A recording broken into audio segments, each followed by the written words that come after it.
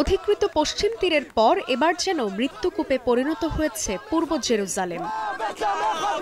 শুক্রবার পূর্ব জেরুজালেমে ইহুদি উপাসনালয়ে গুলিবর্ষণের ঘটনায় বেশ কয়েকজন প্রাণ হারান। এদিন রাতে শহরটির নিভ ইয়াকফ এলাকায় গাড়ির ভেতর থেকে এলোপাতাড়ি গুলি চালায় বন্দুকধারী। এতে ঘটনাস্থলেই অন্তত পাঁচজন নিহত হন বলে জানায় ইসরায়েলি পুলিশ।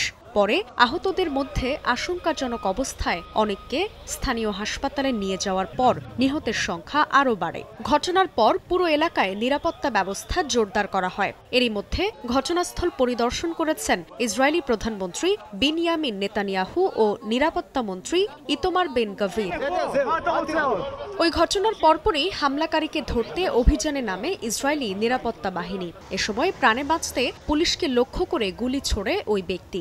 এক পর্যায়ে পুলিশের গুলিতে নিহত হন হামলাকারীও।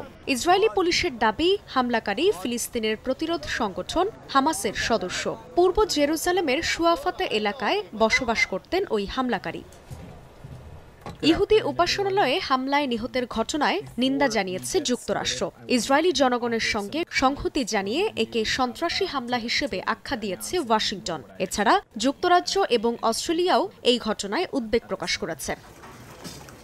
পশ্চিম তীরে ইসরায়েলি বাহিনীর হাতে দশ ফিলিস্তিনি নিহতের একদিনের ব্যবধানে পূর্ব জেরুজালেমে এ ঘটনা ঘটল।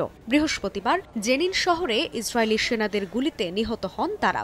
এরপর থেকে পরিস্থিতি আরও উত্তপ্ত হয়ে ওঠে। এমনকি পাল্টাপাল্টি ক্ষেপণাস্ত্র ও বিমান হামলা চালায় হামাস ও ইসরায়েল। তেল আবিবের দাবি, ইসরায়েল ভূখণ্ড লক্ষ্য করে হামাসের রকেট হামলার প্রতিবাদে পাল্টা হামলা চালিয়েছে তারা। এর রেশ না কাটতেই জুমার নামাজ শেষে পবিত্র আল আকসা মসজিদ প্রাঙ্গণে বিক্ষোভ করেন ফিলিস্তিনিরা।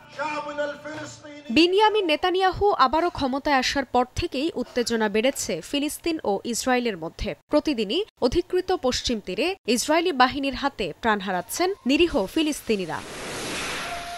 জান্নাতুল সাদিয়া সময় সংবাদ।